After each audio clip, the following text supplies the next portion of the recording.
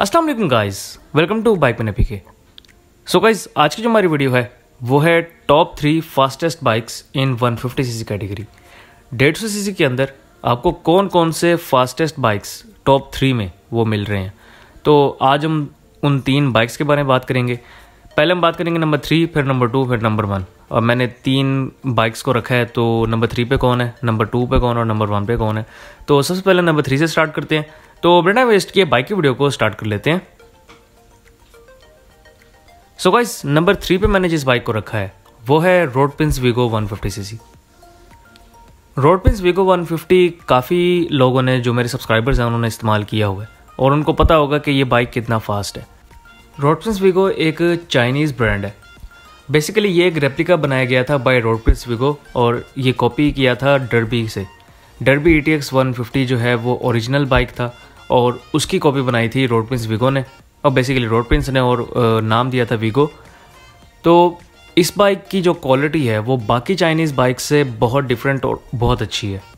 अगर आप इसकी क्वालिटी कंपेयर करेंगे बिल्ड क्वालिटी और पेंट क्वालिटी अगर आप कंपेयर करेंगे बाकी वन जो 150 सीसी बाइक्स हैं, जो चाइनीज़ 150 सीसी हैं, उनसे अगर आप कंपेयर करेंगे तो आपको कंपैरेटिवली बहुत बेहतर लगेगी इसकी क्वालिटी इसके अलावा इसकी जो पार्ट्स की क्वालिटी है, वो भी बहुत अच्छी है। पार्ट्स अवेलेबिलिटी इस बाइक का एक इशू है, वो अभी तक चल रहा है। जब से ये बाइक लॉन्च हुआ था और अभी तक पार्ट्स का जो इशू है, वो चल रहा है और पार्ट्स के अलावा अब तो बाइक आपको न्यू भी नहीं मिल रहा।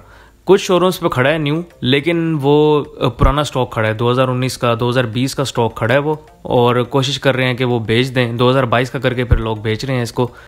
हालाँकि इसकी ओरिजिनल प्राइस अगर आप वेबसाइट पे चेक करते हैं बाय रोडप्रिंस तो रोडप्रिंस ने ये मेंशन किया हुआ है कि उनकी ओरिजिनल प्राइस जो है वो है ढाई लाख रुपए। ढाई लाख रुपए है रोडप्रिंस वीगो की प्राइस लेकिन शोरूम पे जहाँ पर ये आपको न्यू खड़ा हुआ मिल रहा है, वो इसको तीन लाख पचास हज़ार तक भी बेच रहे हैं। उसकी रीज़न बेसिकली ये है कि पीछे से नया स्टॉक आ नहीं रहा तो पुराना स्टॉक वो फिर नई प्राइस के साथ खुद ही नई प्राइस के साथ बेच रहे हैं, अपना ऑन वगैरह सब कुछ रख के और फिर वो उसको बेच देते हैं। बहरहाल, हम स्पीड की तरफ़ थे। तो जहाँ तक इसकी टॉप स्पीड का ताल्लुक है तो इस बाइक की आपको टॉप स्पीड मिल रही है 130 किलोमीटर पर आवर 125 तक तो मैंने पर्सनली भगाया इसको, और 130 तक इस बाइक की क्लेम्ड है टॉप स्पीड 130 से ऊपर भी कुछ लोग गए हैं, लेकिन मोस्टली लोगों को जो टॉप स्पीड मिली है इस बाइक के अंदर, वो है 130 तक। और 130 एक बुरी स्पीड नहीं है, बहुत अच्छी स्पीड है डेढ़ सौ के लिए। जहाँ तक इसके इंजन का ताल्लुक है तो इस बाइक का जो इंजन है ये है four stroke single cylinder overhead camshaft engine overhead camshaft होने की वजह से बाइक वाइब्रेशन कम प्रोड्यूस करता है बनस्बत ओवरहेड वेल्व इंजन के। तो आप थोड़ा सा कंफर्टेबल भी रहते हैं इस बाइक के अंदर। इस बाइक के अंदर बैलेंसर नहीं है, सिर्फ़ बाइक के अंदर जो इंजन की टेक्नोलॉजी है, वो है ओरेड कैम शेफ्ट और इसके अलावा बाइक के अंदर आपको कार्बोरेटर सिस्टम मिलता है, इस बाइक के अंदर ई e सिस्टम नहीं है। और इसके अलावा बाइक के अंदर जो आपको कार्बोरेटर मिल रहा है, वो सिंपल है। इस बाइक के अंदर आपको बटरफ्लाई कार्बोरेटर नहीं मिल रहा।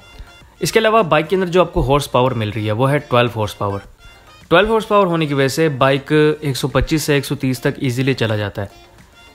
इसके बाद अब हम बात कर लेते हैं अपने सेकंड बाइक की. तो मैंने सेकंड पे जिस बाइक को रखा है, वो है Suzuki G S one fifty special edition या सिंपल कर लें या फिर स्पेशल एडिशन कर लें. तो सुजुकी का जो जी एस वन फिफ्टी है, ये most powerful engine in one fifty C C category इसको कहते हैं. इसको वन फिफ्टी सी सी में पावरफुल इंजन मिला हुआ है. अब पावरफुल होने की वजह से इस बाइक को एक एज मिल जाता है कि इस बाइक को आप टूरिंग के लिए ईजिली यूज़ कर सकते हैं। क्योंकि टोरिंग में मोस्टली पावर की ज़रूरत होती है तो पावर इस बाइक के अंदर आपको मिल जाती है। इसी वजह से मोस्टली लोग इस बाइक को टूरिंग के लिए इस्तेमाल करते हैं। अब हम इस बाइक के इंजन की बात कर लेते हैं तो ओवरहेड कैमशेफ्ट इस बाइक का भी इंजन है। उसके अलावा इस बाइक के अंदर आपको जो कार्बेटर मिल रहा है, वो सिंपल कार्बेटर है।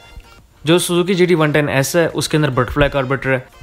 मगर इस बाइक के अंदर आपको सिंपल कार्बोरेटर दिया गया है और उसके अलावा, अगर हम इस बाइक की टॉप स्पीड की बात करें तो मीटर तो इस बाइक का 120 तक है, लेकिन ये 120 तक बहुत जल्दी चला जाता है और 120 से ऊपर ही जाता है। 120 तक तो इसका मीटर वैसे दिया गया है, लेकिन ये 120 से ऊपर ही जाता है।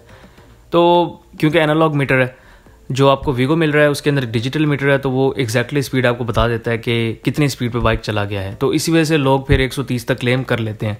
लेकिन इस बाइक के अंदर आपको एनालॉग मीटर मिल रहा है और है भी 120 तक तो हम क्लेम नहीं कर सकते कि इसके ऊपर कितना गया है। तो इसी वजह से मैं आपको कन्फर्म नहीं बता सकता कि कितना गया है, लेकिन 125 तक तो स्पीड है। 125 तक लाजमी गया है ये बाइक 130 तक भी गया होगा, लेकिन क्योंकि एनालॉग मीटर है तो नहीं पता पता चल सकता।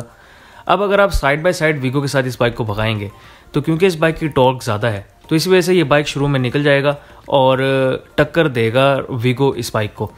वीगो इस बाइक से आगे नहीं निकल सकेगा वीगो इस बाइक के पिछले टायर तक ज़रूर रहेगा। इसके अलावा Suzuki G S one fifty का जो इंजन है, वो ज़्यादा पायदार भी है, क्योंकि जैपनीज़ इंजन है, जबकि आपको जो वीगो का इंजन मिल रहा है, वो चाइनीज़ इंजन मिल रहा है। तो जो ज़्यादा रिलायबल होता है, वो ज़्यादा लाइफ उसकी जो लाइफ स्पैन होता है, वो भी ज़्यादा होता है। तो सुजुकी को इस वजह से एक एज मिल जाता है। तो सेकंड नंबर पर मैंने इस बाइक को इस वजह से रखा है। अब हम बातें अपने फ़र्स्ट बाइक की तरफ़। तो फ़र्स्ट में मैंने जिस बाइक को रखा है, वो है Benelli T N T one fifty I अगर हम बेनेली की बात कर लें तो बेनेली इन दोनों बाइक से बिल्कुल मुख्तलिफ़ है। अगर आप लुक कंपेयर करें दोनों बाइक्स के साथ तो नेकेड लुक है इस बाइक की। इसके अलावा, इस बाइक की प्राइस भी बहुत ज़्यादा है इन दोनों बाइक से। इस बाइक के अंदर जो आपको फीचर्स मिल रहे हैं, वो भी बहुत अच्छे मिल रहे हैं दोनों बाइक्स की नस्बत। इस बाइक के अंदर आपको डिजिटल मीटर मिल रहा है। इसके अलावा इस बाइक के अंदर आपको फ्रंट पे डिस्क मिल रही है बैक पे भी डिस्क मिल रही है। इस बाइक के अंदर आपको तमाम फीचर्स इंस्टॉल मिल रहे हैं किल स्विच से लेकर डिपर तक, सब कुछ इस बाइक के अंदर आपको अवेलेबल मिलेगा। और इसके अलावा इस बाइक के अंदर जो आपको डिजिटल मीटर मिल रहा है, वो कम्प्लीटली डिजिटल है। इस तरह नहीं है कि उसका जो आरपीएम है, वो एनालॉग है। वो कम्प्लीटली डिजिटल मीटर है, जबकि वीगो के अंदर आपने देखा होगा कि वीगो के अंदर आपको जो मीटर मिल रहा है, वो, उसका जो आरपीएम है, वो एनालॉग है। बाकी जो स्पीडोमीटर है, उसका वो डिजिटल है। मगर बनैली के अंदर ओवरऑल डिजिटल मीटर है। बहरहाल, अब हम आते हैं स्पीड की तरफ़। तो Benelli T N T one fifty I की जो आपको टॉप स्पीड मिल रही है वो 125 से 130 किलोमीटर पर आवर तक है। 135 तक भी कुछ लोग लेकर गए हैं, लेकिन 130 तक मैक्सिमम है। इस बाइक के अंदर रेव लिमिटर इंस्टॉल्ड है। रेव लिमिटर होने की वजह से बाइक जो है वो एक हदूद तक आप रेव कर सकते हैं। इससे ज़्यादा आप इस बाइक को रेस नहीं दे सकते। इससे ज़्यादा आप उसको रेस नहीं दे सकते।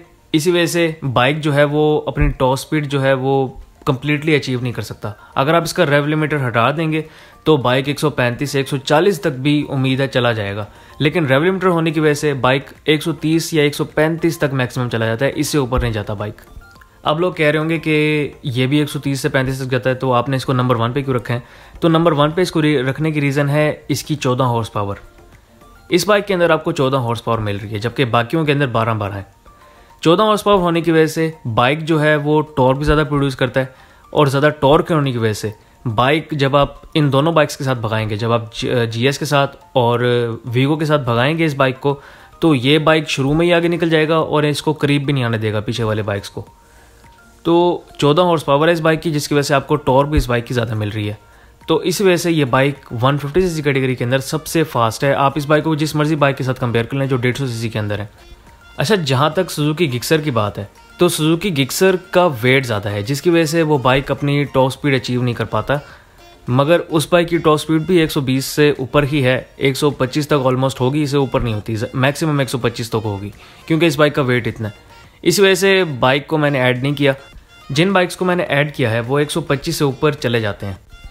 सो so गाइज़ ये थे मेरी आज की वीडियो, और ये थे तीन बाइक्स जिसमें नंबर थ्री पे था वीगो नंबर टू पे था जीएस नंबर वन पे था Benelli T N T one fifty I अब अगर मैंने गलत प्लेसमेंट की है बाइक्स की तो आप मुझे लाजमी कमेंट करके बताएँ। हो सकता है कि नंबर वन पे किसी और बाइक को रखना हो, मैंने बनाली को रख दिया हो। तो अगर ये चीज़ गलत है तो आप मुझे लाजमी कमेंट करके बताएँ, और मुझे ये भी बताएँ कि नंबर वन पे किस बाइक को होना चाहिए था। अच्छा कुछ लोग कहेंगे कि सुजुकी जीआर को आपने ऐड नहीं किया। अगर आप सुजुकी जीएस और जीआर को कंपेयर करेंगे तो आपको जीएस की टॉप स्पीड ज़्यादा लगेगी। सुजुकी जीआर के अंदर उन्होंने पावर को थोड़ा सा रिड्यूस किया है। पावर रिड्यूस करने के बाद उन्होंने कंफर्ट को इंक्रीज़ किया है। अगर आप कंफर्ट लेवल कंपेयर करेंगे जीआर और जीएस के दरमियान तो जीआर बहुत कंफर्टेबल है जीएस से। लेकिन पावर में थोड़ा सा कम है जीएस से। जब आप दोनों बाइक्स को आपस में भगाते हैं तो जी एस निकल जाता है। तो इसी वजह से मैंने सुजुकी जीआर को ऐड नहीं किया। सो so गाइज़ ये थी मेरी आज की वीडियो इंशाल्लाह नेक्स्ट वीडियो के अंदर मुलाकात हुई तब तक के लिए स्टे ब्लेस्ड अल्लाह हाफिज़.